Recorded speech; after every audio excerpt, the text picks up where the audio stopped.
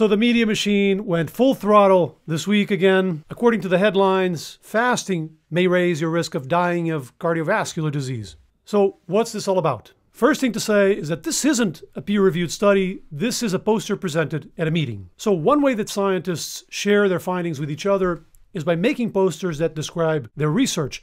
Now, we have to be really careful with posters because they're not peer reviewed, there's no quality control. You can say basically whatever you want on a poster. Sometimes posters describe work that's completed and ready to be submitted for publication. Sometimes it's even already accepted for publication. Other times it's very preliminary, and by the time it appears in print, sometimes years later, it looks way different. Sometimes the research on a poster never gets published, never sees the light of day. I've seen that happen many times. So the bar for posters is much, much lower. And also, a poster is just a summary of the research. There's a lot of detail lacking that matters for interpretation. So I actually almost never make content on posters. I almost always wait for the research to be peer reviewed and published. But I got so many requests from you guys to address this, to talk about this. And I think that's because the media went absolutely buck wild over this poster. Every news outlet ran with this. So we'll take a look, but always with this massive grain of salt that it's not peer reviewed. So what they did was they looked at this database called NHANES, which is basically a repository of surveys conducted in the United States, so US living people looking at their dietary habits. And specifically, they were interested in their eating window. So from the first time that somebody eats in a day to the last, how long is that eating window? And how does the length of that window relate to the risk of dying of a number of causes over the next eight years. And they basically found that people who eat in the shortest time windows had a higher risk of dying of cardiovascular disease. Specifically, they split the participants into five groups those eating in windows shorter than eight hours, windows from 8 to 10 hours, 10 to 12, 12 to 16, and then longer than 16. And the 12 to 16 window was the reference group, so everything else was compared to that. And so, compared to that, people eating in the under eight hour window had 91% higher risk of cardiovascular death.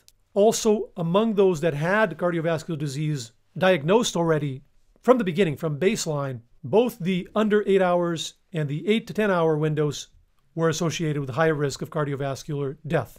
They also looked at the risk of dying from cancer, and the only significant difference there was that among people with cancer diagnosed from the beginning, from baseline, those eating in the longer windows over 16 hours had lower risk of dying of cancer. And finally, they also looked at total mortality, so dying of any cause, and there were no significant differences there between any of the groups. So that's the gist of their findings. Now, the key with this type of research, what we call observational research, because the investigators aren't really intervening, they're not changing anything, they're just watching what the participants do. The key there is to try to figure out if this behavior that they're looking at, in this case, this time window of eating, actually causes these outcomes, in this case, the risk of death, or if it's just an innocent bystander and they're dying more because of other reasons. And this is essentially done by addressing and ruling out alternative explanations. So, for example, several people pointed out on social media that these folks eating in the shortest time windows, there were more smokers in that group than in the other groups. That's true. However, the researchers did account for that, and they did include smoking in their adjustment model and their statistical analysis, and the result was still statistically significant. Again, being a poster, there are details missing. We don't know exactly how this was done. And also, these adjustments aren't perfect, but the fact that they considered it and included it reduces the odds that smoking explains these mortality differences. Other things that I also saw brought up on social media that the investigators did adjust for Race, for example, there were racial differences between these groups. The researchers did adjust for race. Another one was maybe they're eating more food. They're eating shorter time windows, but maybe they're eating more overall. So the researchers did adjust for total energy intake. Another one was maybe they're eating worse foods. They're eating junkier foods during those shorter time windows. But the researchers did adjust for diet quality score Again, this will hinge on the details, but they did consider it. So in these observational studies, there's always some demographic differences between the groups. What we have to look at is whether the investigators considered it and made an effort to adjust for those in their statistical adjustments. And obvious things like age or sex or smoking are always included. So we'll have to look at the details of how all of that was done, but these potential confounders were considered and the investigators did attempt to adjust for those. Now, here's a couple other things that I consider more likely. Maybe these people eating in the shorter time windows have busier lives, more stressed lives, and they're forced to skip some meals. The researchers adjusted for education, income, and food security status, so straight poverty or food insecurity is less likely to be the explanation, but stress could be. You could be stressed on a low paying job or a high paying job. You can be a doctor or a lawyer or a CEO and have a really stressful life and work long hours and have an unhealthy lifestyle in general. So they didn't adjust for stress, for example, at least it wasn't mentioned on the poster. But this is something that can be done, and some observational studies do it. Here's another interesting tidbit. The senior author who oversaw the research, he points out that these folks in the shortest eating windows had less lean muscle mass than some of the other groups. Now, this wasn't on the poster. This is a quote in one of the interviews they gave to the media. So you see how tricky it is to try to figure out what's going on in the poster with partial information, and then you're trying to gather intel from media pieces. It's really problematic. This is why we want to wait for research to be published. But anyway, based on that, they might have different body composition. The investigators did adjust for BMI, but you can have the same BMI and have less muscle and more fat and be metabolically less healthy, so that's a possibility. They also adjusted for something called self reported health condition status. So it'll be interesting to see how exactly this was scored. So I think it's possible that they're more stressed, they have more fat, less muscle, they're maybe a bit sicker and more frail, and that that's what's causing the increased risk, not the eating window itself. So something to consider and address in the future. Another thing to always bear in mind, and for regular viewers, this will be no news, when these flashy headlines come out, always ask, what else do we know about this question? What has been done? What other research do we have published on this topic, right? It's never in a vacuum. We know, for example, from a lot of research that people who skip breakfast have a higher risk of cardiovascular disease. Now, that doesn't mean that skipping breakfast causes heart disease. That's a different question. We'll come to that in a second. But this association, population of breakfast skippers tend to have higher risk of heart disease.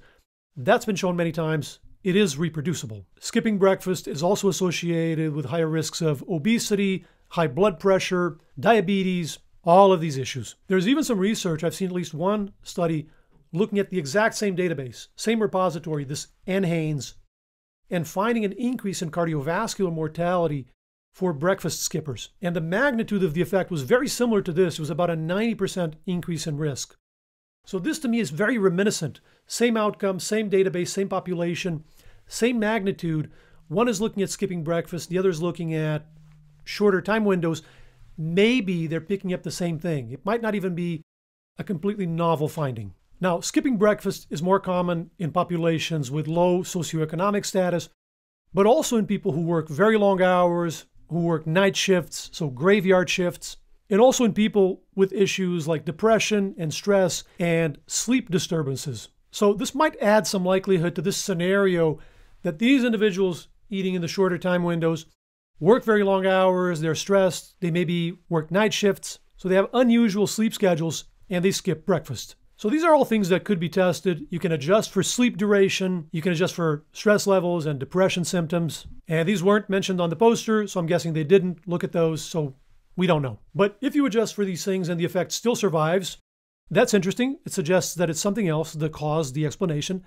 But if the effect goes away, if it becomes not significant, then maybe this eight hour or under eight hour eating window is a marker of an unhealthy lifestyle and not a cause of disease or risk of death per se. There's also an interesting study from the Harvard School of Public Health where they found this association between skipping breakfast and risk of heart disease but when they adjusted for biomarkers like BMI, blood pressure, cholesterol, diabetes, the effect became non significant. So to me, this is saying that if somebody skips breakfast because it's a personal choice, they just prefer to do that, but they otherwise lead healthy lives. They're not stressed out of their minds. They're not overeating later to compensate. They eat healthy meals. Their biomarkers are in the healthy range. The skipping breakfast alone, in the absence of those biomarkers out of whack, doesn't seem to explain the increase in risk. Skipping breakfast could even be beneficial. It's not hard to imagine that.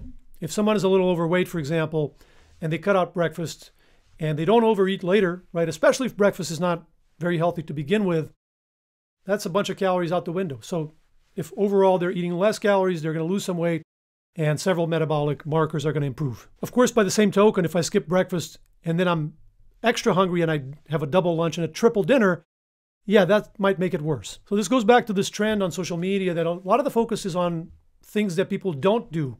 It's on the negatives. I'm low fat. I'm low carb. I don't eat meat. I don't eat gluten. I'm cutting the sugar. I'm cutting the saturated fat. I don't eat between 8 and 12. I don't eat breakfast. I don't eat dinner. Okay, but what do you eat when you do eat? I'm more focused on that. So it's possible that these studies aren't so much picking up the life hackers uh, doing intermittent fasting because they heard about it on a podcast, but more so people in these stressful professions with unhealthy lives and depression and sleep issues, maybe. And that's why they're skipping meals, and that could explain the increased risk. I don't think this has been completely teased out or ruled out. So, bottom line for me, three takeaways from this poster and this whole story. Number one, the information on this poster doesn't change the big picture of what we know very much. It might not even be a completely novel finding, and the level of confidence being a poster would be on the low end. Anyway, two, nothing about this poster tells me that the problem is the fasting itself. I know the headlines all mention fasting, and that's why people got freaked out. But this might have nothing to do with fasting per se. Also, worth pointing out that most of the evidence from randomized trials that we have looking at fasting look pretty positive overall. Doesn't always work. Some trials report no significant changes, no effect. But in many of them, there is improvement, some weight loss, metabolic improvements, things of that nature. And this seems to be in proportion to the caloric deficit that the participants achieve. So fasting seems to be a completely valid way to moderate calories that works really well for some people. Now, of course, these trials are a little shorter, a couple months, a year if we're lucky. So there is some uncertainty with regards to long-term outcomes like many years or a decade. But given this discrepancy between the trials and the observational data, and given the many potential confounders that we've talked about pertaining to the observational data sets, I would be surprised if this doubling in heart disease death risk is coming from fasting itself. I think it's more likely that it's coming from one of these other factors that we talked about, but future will tell. And the third takeaway and the last is the time of eating. What time of day do you actually eat? And I know that this often gets lumped together with fasting and social media discourse, and definitely with these headlines. But the science is suggesting that they're separate things. There is some evidence that everything else held equal, it might be a bit better metabolically, a bit better for weight loss and glucose metabolism and things of that nature to eat your calories earlier in the day. And they see this in some studies even after matching for fasting. So they're fasting the same amount of time, same amount of calories eaten, same meals even, just shifted earlier in the day, and they see this effect in some studies, so it seems to be a circadian thing.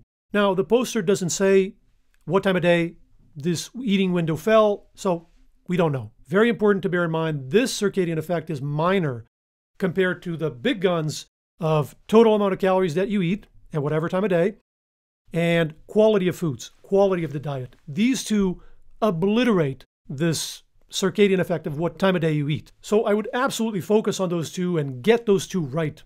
But secondarily, yes, there is some evidence suggesting that eating your calories earlier in the day might help a bit. And this is coming from a complete night owl. My schedule is naturally shifted later, and if I'm hungry at midnight, I'll eat, but I'll try to eat, have a healthy meal. But this isn't about what I personally do. Who cares? It's about what evidence we have. And yes, we do have some evidence that all else held equal, eating earlier in the day might be a little better. And we actually cover that in a lot more detail in a previous video. So I'll link that right here. And here's a lot more on fasting, how it works, and this common question of autophagy. Check those out. I'll see you over there.